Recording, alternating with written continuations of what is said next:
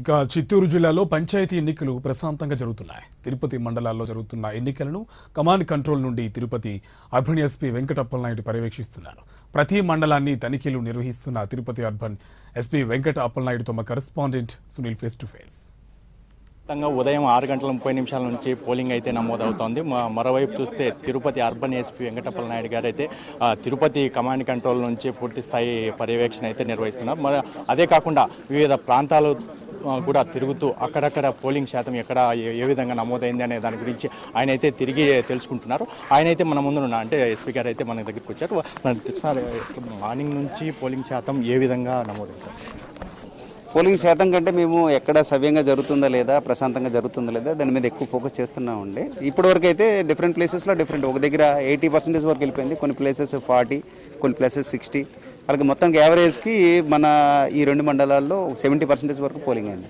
అంటే ముఖ్యంగా చూసుకుంటే కొన్ని ఈ వెదురుకుప్పం మండలం కావచ్చు ఇక్కడ అన్ని ప్రాంతాల్లో కొన్ని సమస్యాత్మకంగా ఉందని చెప్పేసి అంటున్నారు. అంటే ఇది ముఖ్యంగా ఈ గంగిరెడ్డిపల్లి ఈ కమ్మకంట్రికలో ఎక్కువగా ముందు టీడీపీకి ఇటు వైసీపీ వర్గాలకి ఎక్కువ అయితే గొడవలు అయితే జరిగినాయి.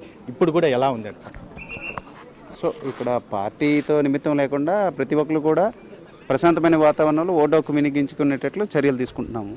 ఎవరు కూడా ఏమైనా అనుమానాలు ఉంటే చట్టం తన చేతిలోకి తీసుకోకుండా అందరూ కూడా చట్ట ప్రకారంగా ఆ యంత్రాంగానికి కన్సర్న్ యంత్రాంగానికి ఫిర్యాదు చేయమని చెప్పి చెప్తున్నాము. ప్రస్తుతానికైతే ఎటువంటి అవాంఛనీయ సంఘటనలు అయితే జరగలేదు జరగవు కూడా.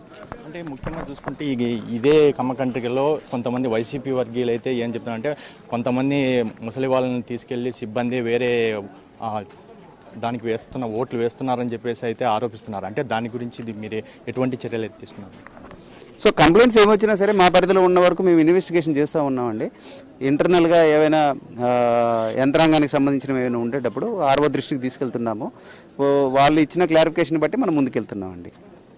ముఖ్యంగా చూసుకుంటే ఎంతమంది భద్రతతో మీరు ఏర్పాటు చేసినట్టు సో టోటల్గా మనకి దాదాపుగా ఒక వెయ్యి మంది ఈ రెండు మండలాలు కూడా పెట్టడం జరిగింది. దాంతోపాటు additional SPs SIs DSPs CS అందరూ ఉన్నారు. అన్ని అంటే అక్రాస్ ద హెరార్కి అందరు ఆఫీసర్స్ ఉన్నారు.